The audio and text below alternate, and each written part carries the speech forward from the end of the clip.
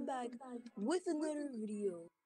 Today in this video, we're gonna be discussing my theories and what we might see in this new Christmas update coming out.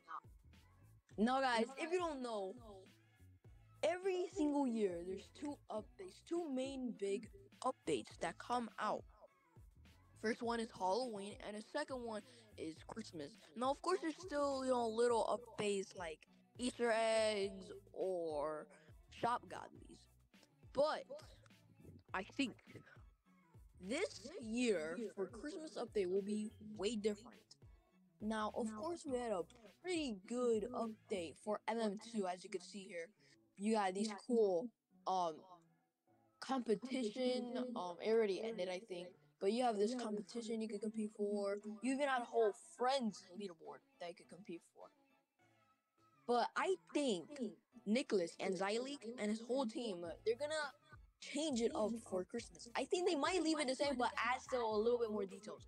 Now, of course, he's still gonna keep some of the maps, as in minor, uh, not minor, uh, cabin, a workshop, and the uh, station.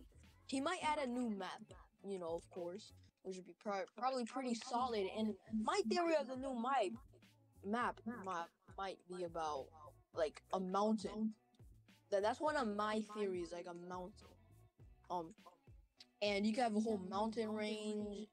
I, that's my personal uh, theory, and I really like that. Um, but there has been a lot of people saying that there might be an Evo coming out too, which, if not, will be insane because last year we did an Evo for the Halloween update. So it kind of makes sense to do it for the uh, Christmas update.